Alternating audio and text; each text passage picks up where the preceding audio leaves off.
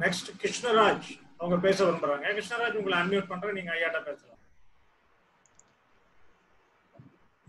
ஐயா வணக்கங்க. ஐயா நல்லா இருக்கீங்களா? ஐயா? வணக்கம் ஐயா வணக்கம். ஐயா நான் ஒரு நாலு வருடம் உங்களுக்கு முன்னாடி ஞான முகம் அட்டன் பண்ணியிருக்கேன் உங்கள்கிட்ட சரி. ஆஹ் அதுல எனக்கு ஒரு ஞான தெளிவு கிடைச்சிச்சு. அது நிறைய பயன்பட்டுச்சுங்க ம். இப்ப என்னன்னாங்கய்யா எனக்கு என்னுடைய கேள்வி ரொம்ப சிம்பிள் தான். ம். ஒரு விழிப்பு நிலை இருக்கு. சரி மனசை பொறுத்த மட்டும் எதுவும் பண்ண வேணாம். அகத்தை பொறுத்த மட்டும் நம்ம தோல்வியை ஒத்துக்குருவோம் அப்படின்றது இருக்கு.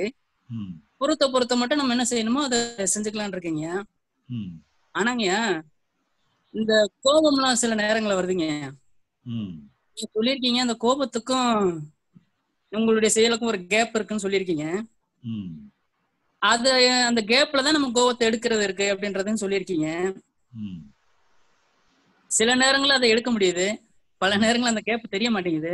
சரி நடந்த செயலை அக்செப்ட் பண்ணிக்கணும்னு சொல்லியிருக்கீங்க. இந்த. கோபத்தால ஏதோ ஒண்ணு நடந்துருச்சு அப்படின்னா கூட அதை அக்செப்ட் பண்ணிக்கிறேன். ஆனா அந்த கேப்பை வந்து எப்ப நான் நிதானமா உணர்வேன் அப்படின்றது எனக்கு தெரியல. அதான் கேட்கலாமே. அதாவது உங்களை மீறி நடந்துட்டுதுங்கிறது தெரிஞ்ச பிறகு அடுத்த தடவை அதே மாதிரி சந்தர்ப்பம் வரும்பொழுது உங்களுக்கு ஒரு நினைவு வரும் பாத்தீங்களா? அப்போ ஒரு நிதானத்தை கொண்டு வந்துரும். இப்போ நீங்க ஃபர்ஸ்ட் டைம் வந்து ஒரே சந்தர்ப்பம் ஒரே மாதிரி சந்தர்ப்பம். ஃபர்ஸ்ட் டைம் நீங்க தப்பு பண்ணி உடனே கோபத்துல நீங்க ஏதாவது ஒண்ணு கூட பண்ணிடுறீங்க. அதே மாதிரி சுச்சுவேஷன் ரெண்டாவது இடம் வரும் பொழுது உங்களுக்கு நினைவு உடனே வந்துடும் போன தடவை இப்படி இதை அவசரப்பட்டு ஏதோ பண்ணிட்டோம். இந்த தடவை கொஞ்சம் நிதானமா நடக்கணுங்கும் போது நீங்க கொஞ்சம் நிதானத்துக்கு வந்துடலாம். அதனால முடிஞ்சதெல்லாம் நீங்க விட்டுருங்க. அடுத்த தடவை நீங்க பண்ணும் பொழுது நீங்க நிதானத்துக்கு நடந்ததை நடந்ததை உங்களுடைய நடந்ததை உங்க தத்துவத்தின்படி நான் ஏத்துக்கிறேங்க அப்படியே ஏத்துக்கிறேன். ஆனா அது ஒரு ஒரு நெடிய நீண்ட காலமா அந்த பழக்கம் இருந்துகிட்டே இருக்கு. அதனால ஐயாட்ட கேட்போமே அப்படின்றது இல்ல அதாவது நமக்கு வந்து தேவைப்படுது பாத்தீங்களா? இப்ப நம்ம வந்து சில நிர்வாகங்கள் பண்ண வேண்டி இருக்கு நம்ம சூழ்நிலைகளோட பல சூழ்நிலைகள் வாழ்றோம். அதனால எல்லாருமே இதுவும் தேவைதானே. கோபமும் தேவைதான். பயம் தேவைதான். வருத்தம் தேவைதான். எல்லாமே தேவைதானே? அதுக்காக தேவையில்லாத அது இல்லாம பாத்துக்கணும்ட்டு எல்லாம் முயற்சி பண்ண வேண்டிய தேவையில்ல. இப்போ அது முடிஞ்ச அளவுல நீங்க கொஞ்சம் நாகரிகமா வளர்ந்துக்கிடுறதுக்கு நாகரிகமா எக்ஸ்பிரஸ் பண்றதுக்கு வேற என்ன பண்ணலாம்னு சொல்லி நீங்களே ஒரு வழிமுறைகளை கண்டுபிடிச்சுக்கோங்க. சரிங்க சரி. சரி. சரிங்க அது குழந்தைகளை வந்து இந்த தத்துவ புரிதலோட குழந்தைகளுக்கு எந்த மாதிரி சொல்லிக் கொடுக்கலாங்க அதை? இப்ப நம்ம குழந்தை எனக்கு வந்து குழந்தைங்க இருக்காங்க. குழந்தைகளுக்கு எட்டு வயசுல குழந்தைங்க இருக்காங்க. ஆ சொல்லுங்க. அதாவது குழந்தைகளுக்காக நாங்க வந்து ஒரு முகாம் ஒண்ணு நடத்தினோம் அதனால அந்த முகாம்? நம்ம இப்ப யூடியூப்ல நம்ம போட்டிருக்கோம். நம்ம வந்து வாட்ஸ்அப்ல நம்ம குரூப்ல எல்லாம் போட்டிருக்கிறோம். நீங்க நம்ம வாட்ஸ்அப் குரூப்ல ஏதாவது இருக்கீங்களா ஆ, இருக்குங்க இருக்கேன். பிரபாகரன் குரூப்ல இருக்கேன். அதுல ஒரு தடவை அப்லோட் பண்ணிருந்தாங்க ஆமா அதை அதை கொஞ்சம் பார்த்து அவுட் பண்ணி பாருங்க. நல்லதுங்க நல்லது ஒர்க் அவுட் பண்ணி பாருங்க. பார்த்துட்டு ரொம்ப நல்லது ஏதாவது கிளாரிபிகேஷன் வேணும்னா கூட நீங்க ஃபோன் பண்ணி கேளுங்க. நல்லதுங்க நல்லதுங்க. ரொம்ப நன்றிங்க. ரொம்ப நன்றி. தேங்க்யூ வாணி அவங்க பேச விரும்புறாங்க. வாணி உங்களை அன்மியூட் பண்றேன் நீங்க ஐயாட்ட பேசலாம்.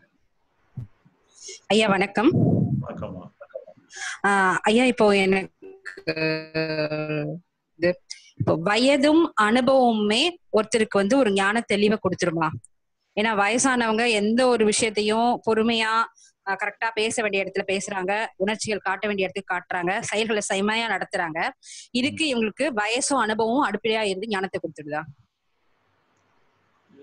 நீங்க முதல்ல சொன்னது கொஞ்சம் வாய்ஸ் சரியா கேட்கல அந்த கேள்வி என்னோட கேளுங்க. ஐயா ஐயா இப்ப கேக்குதுங்களா ஐயா? இப்ப கேக்குது. ஐயா வயசும் அனுபவமுமே ஒருத்தருக்கு ஞானத்தை கொடுத்துடுதா? இப்ப வயசானவங்க நிறைய விஷயங்கள்ல வந்து ரொம்ப அமைதியா தேவையான விஷயங்களுக்கு ரியாக்ட் பண்ணி ஆஹ் பொறுமையா அதை ஹேண்டில் பண்ணி ஆஹ் ஒரு தீவிர பக்தி நிலையில எல்லாத்தையுமே செய்யறாங்க அப்ப அவங்களுக்கு வந்து இந்த ஆல்மோஸ்ட் வயசானவங்க எல்லாருமே ஒரு ஞான தெளிவோட தான் இருக்காங்களா? அப்படி சொல்ல முடியாது. அது வந்து ஏன்னா அவங்களுக்கு எப்படியுமே தன்னைத்தானே எதிர்த்து போராடுற நிலைமை தான் இருக்கும்.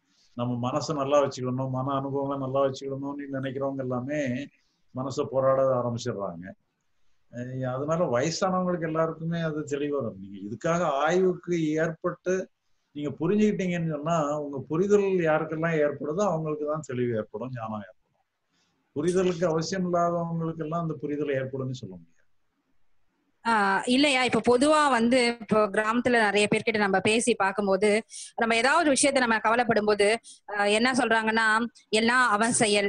ஆஹ் அவன்கிட்ட விட்டுடுங்க. நல்லதே நடக்கும் அப்படின்னு சொல்றாங்க. அப்ப அந்த போராட்டம் அவங்களுக்கு இல்ல இல்லாம இருக்கிறதுனால தானே அந்த வார்த்தை வருது? போராட்டம்ங்கிறது மனசளவுல இருக்கிறது வேற செயலளவுலங்கிறது வேற. நீங்க நம்ம நூல்கள் நீங்க சரியா படிக்கலன்னா கூட படிச்சு பார்த்துட்டு கூட அடுத்தாப்புல கேட்கலாம். சரிங்க ஐயா நன்றி ஐயா சரி. நெக்ஸ்ட் சக்தி